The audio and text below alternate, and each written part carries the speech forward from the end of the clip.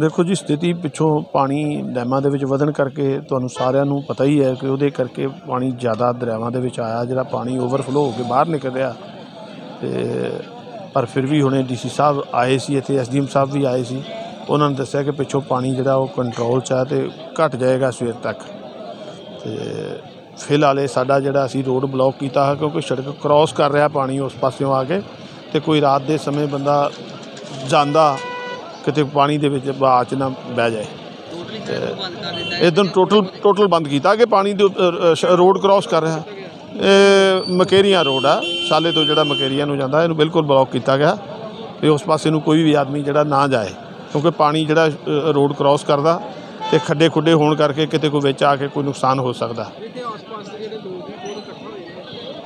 ਇਹ ਲੋਕ ਤਾਂ ਸਿਰਫ ਆ ਮੇਲਾ ਹੀ ਵੇਖਣ ਵਾਂਗ ਇਕੱਠੇ ਹੋਏ ਨੇ, ਬਾਕੀ ਅਵੇਅਰ ਨੇ, ਇਹਨਾਂ ਨੂੰ ਸਾਰਾ ਪਤਾ।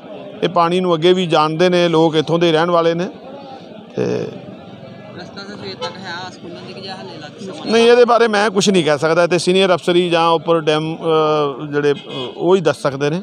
ਅਸੀਂ ਉਹਦੇ ਬਾਰੇ ਨਹੀਂ। ਸਾਡੇ ਕੋਲ ਤੇ ਇਹ ਆ ਵੀ ਰੋਡ ਤੇ ਇਸ ਵੇਲੇ ਰਾਤ ਨੂੰ ਕੋਈ ਬੰਦਾ ਰੋਡ ਤੇ ਨਾ ਜਾਏ ਜੋ ਕਿਸੇ ਕਿਸਮ ਦੀ ਕੋਈ ਇਹੋ ਜਿਹੀ ਕੋਈ ਮਿਸ ਨਾ ਹੋਵੇ।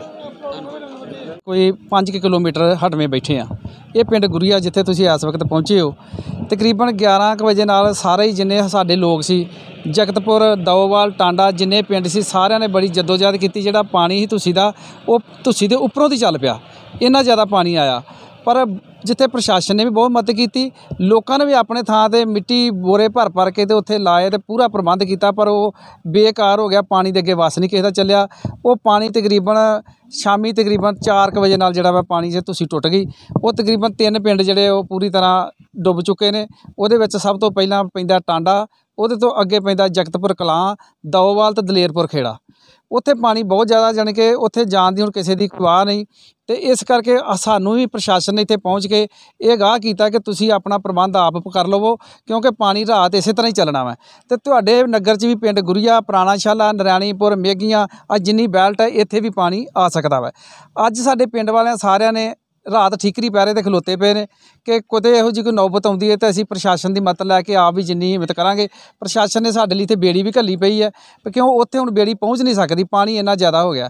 ਤੇ ਇਸ ਕਰਕੇ ਉਹਨਾਂ ਪਹਿਲਾਂ ਹੀ ਪ੍ਰਬੰਧ ਕੀਤੇ ਨੇ ਸਾਡੇ ਪਿੰਡਾਂ 'ਚ ਆ ਬੇੜੀ ਪਹੁੰਚਾ ਦਿੱਤੀ ਹੈ ਪ੍ਰਸ਼ਾਸਨ ਨੇ।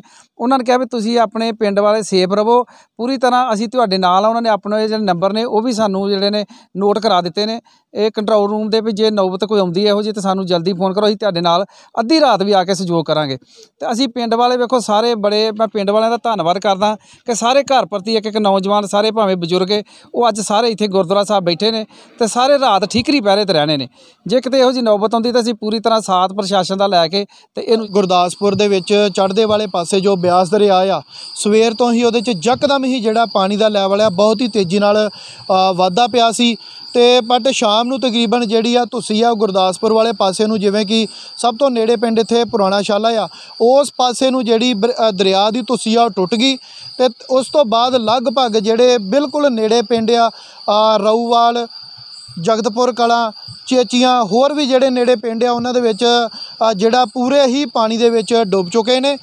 ਇਸ ਵੇਲੇ ਅਸੀਂ ਪੁਰਾਣਾ ਸ਼ਾਲਾ ਅੱਡਾ ਤੋਂ ਤਕਰੀਬਨ ਅੱਧਾ ਕਿ ਕਿਲੋਮੀਟਰ ਦੂਰ ਖੜੇ ਆ ਬਿਆਸ ਦਰਿਆ ਵੱਲ ਨੂੰ।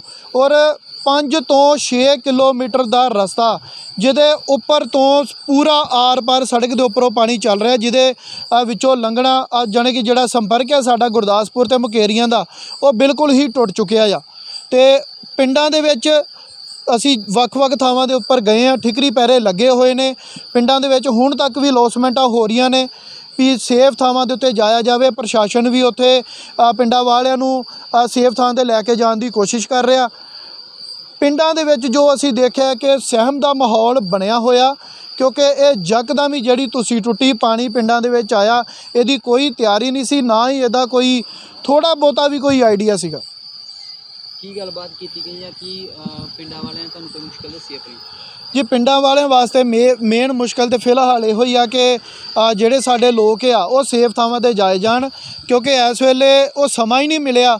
ਵੀ ਪਿੰਡਾਂ ਵਾਲੇ ਆਪਣੇ ਜਿਹੜੇ ਆ ਡੰਗਰ ਪਸ਼ੂ ਉਹ ਵੀ ਸੇਫ ਥਾਵਾਂ ਤੇ ਲੈ ਕੇ ਜਾ ਜਾਣ। ਹੁਣ ਤੇ ਜਿਹੜੇ ਪਿੰਡ ਪਿੱਛੇ ਪਾਣੀ 'ਚ ਡੁੱਬ ਵੀ ਚੁੱਕੇ ਨੇ, ਉਹ ਆਪਣੇ ਆਪਣੇ ਕੋਠਿਆਂ ਦੇ ਉੱਪਰ ਤੰਬੂ ਲਾ ਕੇ ਆਪਣਾ ਸਮਾਨ ਜਿਹੜਾ ਆ, ਉਹ ਆਪਣੀਆਂ ਛੱਤਾਂ ਦੇ ਉੱਪਰ ਰੱਖ ਕੇ ਰਾਤ ਗੁਜ਼ਾਰ ਰਹੇ ਆ। ਖਤਰਾ ਇੰਨਾ ਕਿ ਜ਼ਿਆਦਾ ਆ ਕਿ ਪਾਣੀ ਦਾ ਵਹਾਅ, ਕਿਉਂਕਿ ਲਗਾਤਾਰ ਦਰਿਆ ਵਿੱਚ ਜਿਹੜਾ ਉਹਦਾ ਲੈਵਲ ਵੀ ਵੱਧ ਰਿਹਾ, ਵਹਾਅ ਵੀ ਵੱਧ ਰਿਹਾ। ਖਤਰਾ ਪਿੰਡਾਂ ਵਾਸਤੇ ਬਹੁਤ ਹੀ ਜਿਹੜੇ ਦਰਿਆ ਦੇ ਨੇੜਲੇ ਪਿੰਡ ਆ, ਉਹਨਾਂ ਵਾਸਤੇ ਬਹੁਤ ਜ਼ਿਆਦਾ ਆ।